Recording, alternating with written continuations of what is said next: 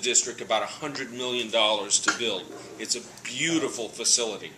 But it's in a community called Deanwood, which not only is a very interesting historical community, but it's kind of one of the east of the river communities that most represents how the, the, those communities east of the river have been uh, disenfranchised and under-resourced. Deanwood uh, was one of the first places in the city where freed slaves could actually own homes and buy land. They broke up the land from an old plantation there owned by the, the sheriff family. And so it became, generation after generation, really a suburban community in Washington, D.C.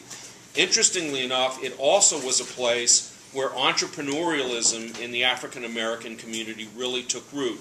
In the, in the turn of the century, Nannie Helen Burroughs built the National Girls and Women's Training School, which was a place that trained young African American women in getting jobs in the domestic uh, industries uh, and was very radical for its time. She was also a union activist.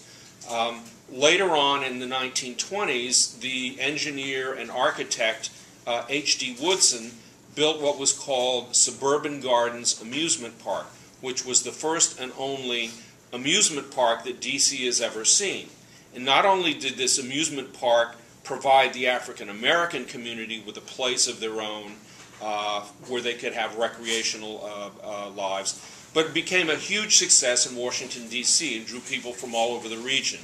Sadly, uh, after the war began, Suburban Gardens was torn down. Um, but it was a community that displayed tremendous entrepreneurial vigor. After that, there was very, very little investment. Today, Deanwood has no pharmacy, no bank, no fresh food market. But you can still see much of the architecture that was designed by H.D. Woodson at the time. Our notion in, in having the, the Renewable Energy Tech Show there was because we felt that when the students that graduate with uh, science, uh, um, technology, engineering, and math skills leave Woodson High School and go on to get advanced degrees in universities, if they come back to DC, what kind of jobs are they going to find?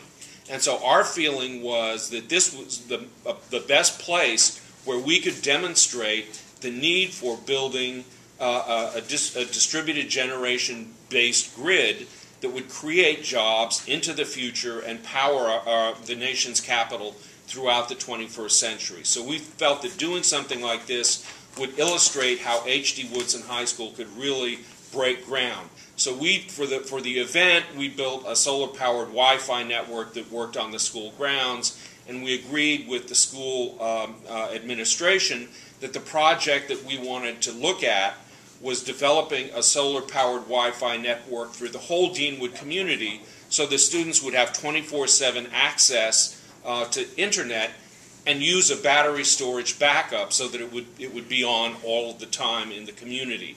And the school was very excited about this. We worked with, with this, some of the classes a little bit, and we do hope to pursue this.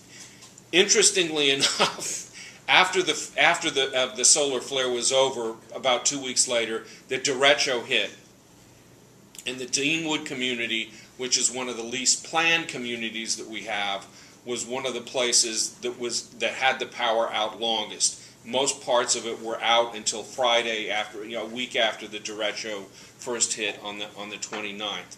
Um, interestingly enough, uh, my wife has a brother that's in a, a, rehabilitation facility in Deanwood, and she went to visit him several days after the derecho.